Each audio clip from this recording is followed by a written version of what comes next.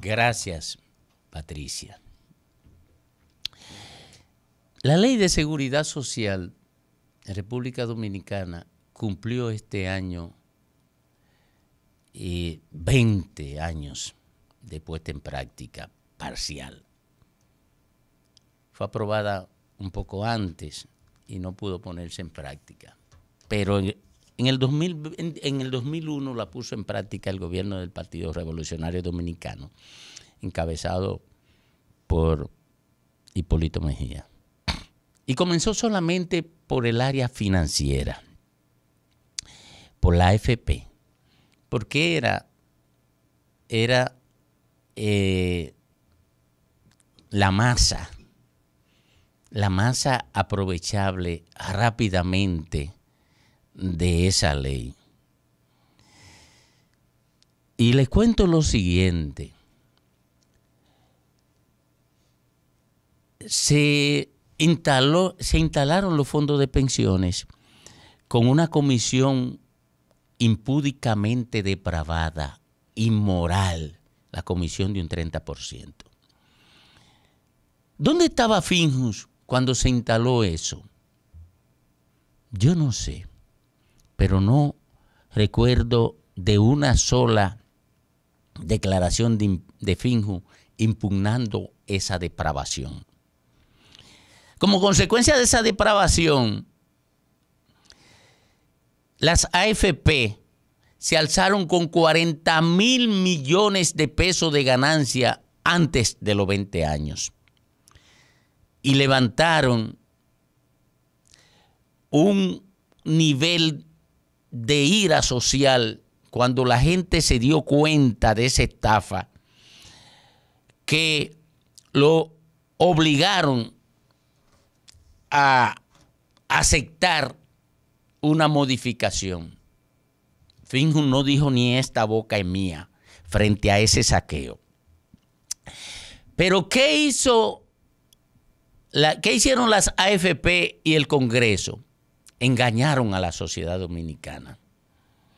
Modificaron en vez del 30% de la ganancia que producían los fondos de pensiones, colocaron un por ciento de ganancia en favor de la AFP por los fondos de pensiones, por el monto de los fondos de pensiones, y lo llevaron a uno punto y tanto por ciento.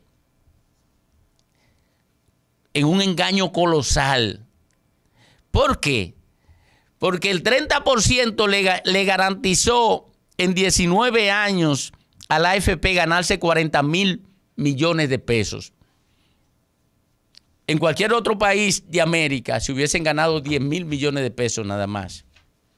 Pero aquí se ganaron 40 mil. En 19 años.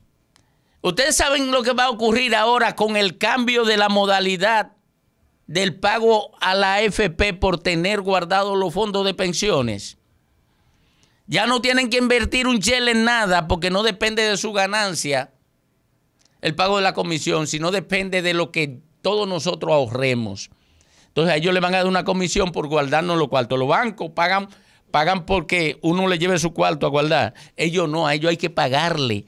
Y hay que pagarle uno y punto y pico. ¿Ustedes saben cuánto se van a ganar? ¿Cuánto se estima que se van a ganar las AFP en los próximos 20 años? 100 mil millones de pesos, más de 100 mil millones de pesos. En los 19 años pasados se ganaron solo 40 mil. Con este, esta modalidad de engaño, se, ganarán sobre los 100 mil millones de pesos en los próximos 20 años. ¿Quiere que le diga algo? Finju no ha dicho nada de eso. No ha abierto la boca Finju frente a eso. Pero tampoco abrió la boca Finju cuando la FP se quedaban con más de 2 mil millones de pesos pertenecientes a los sobrevivientes de un afiliado que, que hubiera fallecido se quedaban con dos mil millones de pesos, se quedaron. Eso es tontería frente a lo otro, pero se quedaban. Pero Finju no dijo nada, nunca dijo nada, guardó un silencio cómplice. Pero Finju tampoco dijo nada cuando las AFP utilizaban los fondos de pensiones de nosotros para pagar abogados que manejaran los reclamos que llevaran a los tribunales cualquiera de los afiliados. ¿Qué ocurría con eso? Como fin, como las AFP tenían todo lo cuartos del mundo para pagar los abogados en contra del afiliado y el afiliado no tenía dinero para, para pagar los honorarios del abogado, los, los afiliados abandonaban todos los procesos y Finjo no dijo nada nunca. Pero, ¿qué hacía el Consejo de Seguridad Social por otro lado? Mientras se producía eso. Bueno, el Consejo de la Seguridad Social mantenía con los brazos atados a la Dirección de Información y Defensa de los Afiliados. ¿Y por qué el Consejo de Seguridad Social le negaba recurso a la DIDA, a la Dirección de Información y Defensa del Afiliado? Porque de esa manera la DIDA no podía informarle al afiliado sobre su derecho y el afiliado entonces no tenía conocimiento suficiente para hacer reclamos sobre su derecho. Y cada vez que el Consejo de la Seguridad Social intentaba emitir una resolución para apoyar financieramente a la DIDA, el CONE usaba su poder de veto para impedir la resolución en el Consejo de Seguridad Social. Y vaya usted a saber quién llevaba ese poder de veto al Consejo de la Seguridad Social. Hasta candidato a senador fue por el PLD. Bueno, ¿Quiere que le diga dónde estaba Finju? Finju estaba guardando silencio sobre esa barbaridad. Bueno, eso era en el ámbito de los fondos de pensiones. Pero la ley, la ley de seguridad social establece que todos los empleados públicos deben pasar a formar parte de SENASA. Las ARS nunca han cumplido eso. Las privadas nunca han cumplido eso. Ustedes saben qué han hecho las ARS privadas. Van a sobornar a los titulares de instituciones públicas o a, los directores de recursos humanos de instituciones públicas para que envíen de aire a esas ARS privada a la planilla de empleados de las instituciones públicas. En una asociación de corrupción plena. ¿Ustedes saben dónde estaba Finju con esa violación a la ley? Guardando silencio. Silencio cómplice. Bueno, como las ARS sabían que estaban violando la ley, iniciaron un proceso de reclamo que lo llevó al tribunal administrativo. El tribunal administrativo falló en contra de las ARS privadas, estableciendo que debían ir los empleados públicos a Senasa.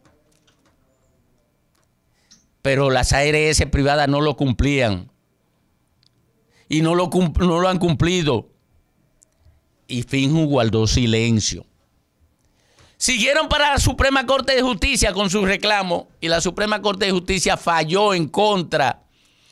Las ARS privadas no cumplieron la sentencia y Finju estaba guardando silencio. Van al Tribunal Constitucional y el Tribunal Constitucional también falla en contra de ella, ordenándole que cumplan la ley. Las ARS no cumplen la ley y Finju guarda silencio. Y yo le pregunto a Finju, eso no es llevarse la institucionalidad a patada. Bueno, ahora las, el Colegio Médico Dominicano decidió enfrentar por la vía de hecho una situación de injusticia, una situación de robo de sus de robo de su, de su talento y de robo de su servicio por parte de las ARS que amparada en la protección que tienen de los políticos, porque son sobornados, muchos de ellos, algunos no, otros es por puro miedo, amparado en la protección de los políticos, las ARS le niegan todos los procedimientos que le da la gana, todos los servicios que le da la gana y todos los medicamentos que le da la gana al afiliado para quedarse con su cuarto, para robárselo pero finge guarda silencio. Y entre las cosas que se roban las ARS es lo de los médicos, y los el servicio de los médicos, el tiempo de los médicos, el conocimiento de los médicos. Y ellos decidieron enfrentarlo por vía de hecho. Ah, Albricia. Ahora Finju abre la boca. Ahora Finju se da cuenta de que existe una ley de seguridad social que es utilizada por las ARS para robarle a todo el mundo, pero que Finjo ahora quiere apoyarla en el robo que le hacen a los médicos. ¿Eso es lucha por institucionalidad? ¿Eso es falsía? ¿Eso es lucha por institucionalidad? Claro que no.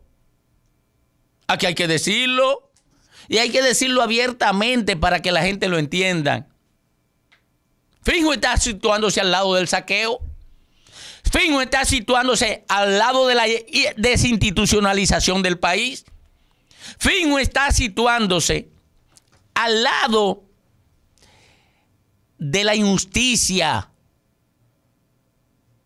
de lo injusto, para defender el saqueo del gran capital que está ahí, ahí, bajo la sombrilla de las ARS.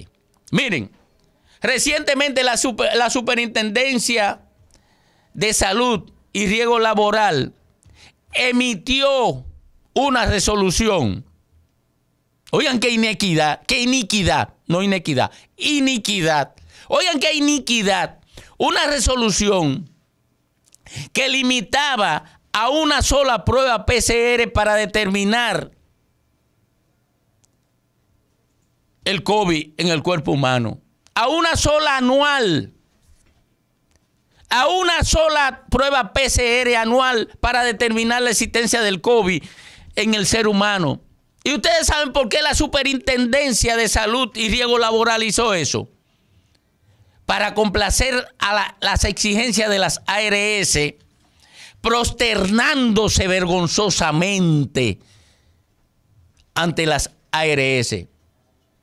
Pero les cuento algo, señores. No hay un solo país en el mundo, un solo país en el mundo, ni siquiera en la, en la África rabalizada, ni siquiera en Haití, donde un Estado se haya atrevido a emitir una, una resolución de esa naturaleza. Absurda, en medio de una pandemia. Cuando lo que se reclama es más servicio médico, apertura amplia de los servicios médicos, protección más amplia al ser humano. eso absurdo nada más ocurre en República Dominicana como una vergüenza universal. En ninguna parte del mundo ha habido una resolución de esa naturaleza. Eso nada más ocurre aquí. Pero ustedes saben por qué ocurre aquí. Porque el liderazgo que está llamado a proteger el interés colectivo se sitúa como fin en una esquina para defender intereses bastardos, para defender intereses bastardos. Esa es la desgracia de nuestra sociedad. Esa es la desgracia de nuestra élite política y nuestra élite empresarial. Que no tienen un ápice de humanismo en sus actitudes cuando se trata de defender intereses y lo convierten totalmente en espurios. La verdad es que Finju, con la actitud que ha asumido frente al reclamo del colegio médico, se ha convertido no solamente en un monumento de la desinstitucionalización, no solamente en un monumento de la injusticia, sino en un monumento a la vergüenza.